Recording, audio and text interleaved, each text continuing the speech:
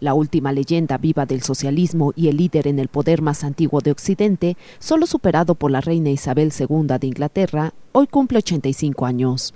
Contra todos los pronósticos, Fidel Castro sigue siendo un político calculador que con su sola presencia mueve los hilos de la isla.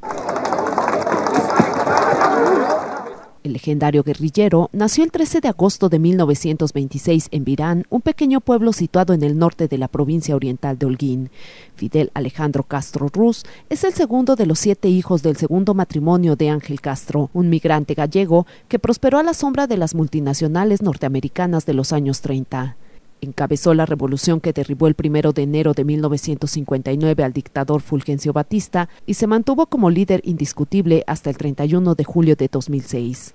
Quiera que sean las noticias procedentes de la capital, nuestras tropas no deben hacer alto al fuego por ningún concepto su nueva etapa comenzó tras una enfermedad en 2006 que logró lo que nadie, ni la CIA ni 10 presidentes de Estados Unidos, retirarlo del poder. Lo venció una diverticulitis, un mal que provoca severas inflamaciones del intestino grueso que lo orilló a ceder el poder por primera vez en 47 años. Su hermano Raúl asumió entonces los deberes de Fidel.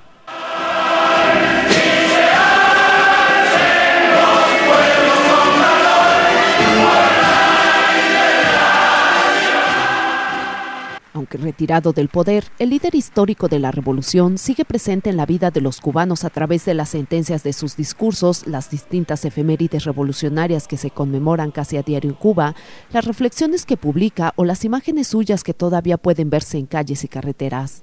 Fidel Castro introdujo en la isla reformas sociales, educativas y sanitarias sin comparación en América Latina en la época y colocó a Cuba en el mapa internacional. Cuba y la revolución cubana seguirían luchando y seguirían resistiendo.